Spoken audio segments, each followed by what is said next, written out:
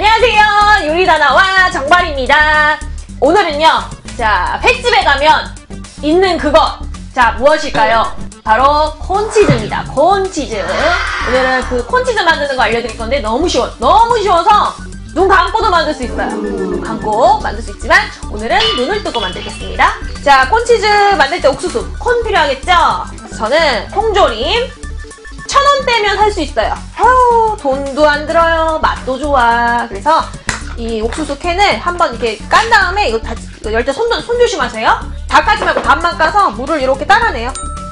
물기 없어야 돼요. 그죠? 340g짜리인데 반만 쓸 거예요. 한 170g 정도 넣어주시고요. 여기다가 달달하게 설탕.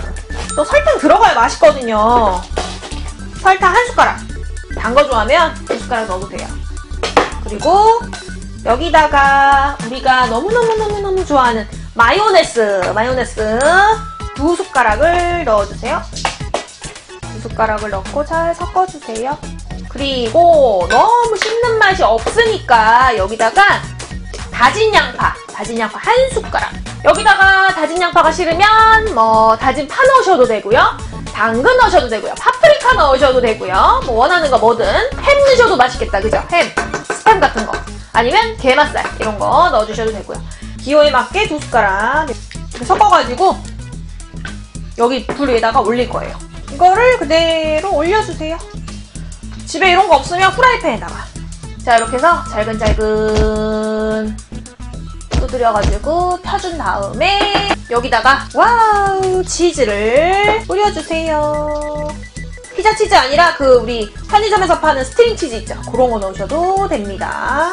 여기다가 너무 색깔이 희끗희끗하잖아요. 희끗희끗하니까 파릇파릇하게 파슬리를 자 파슬리도 파슬파슬하게 뿌려주시고요.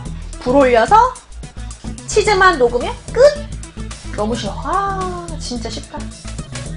원래 눈 감고 만들 수 있는데 오늘 특별히 눈 뜨고 만든 거예요. 자 여기다가 이제 더 빨리 익히고 싶다. 그러면 여기다가 냄비 뚜껑 있죠? 냄비 뚜껑을 쫙 덮어주시면은 치즈가 더 빨리 녹아요. 어 만약에 우리 초등학생 여러분들 콘치즈를 하고 싶은데 가스불을 사용하기가 위험하다. 그러면은 그냥 그 전자레인지 담을 수 있는 용기 있잖아요. 이런 그릇에다가 담아가지고 전자레인지에 그냥 돌려도 돼요. 전자레인지에 치즈가 녹을 때까지만 전자레인지 돌려 드셔도 아주 맛이 좋아요. 자, 이렇게 해서 옥수수랑 치즈랑 마요네즈만 있으면 만들 수 있는 콘치즈 끝!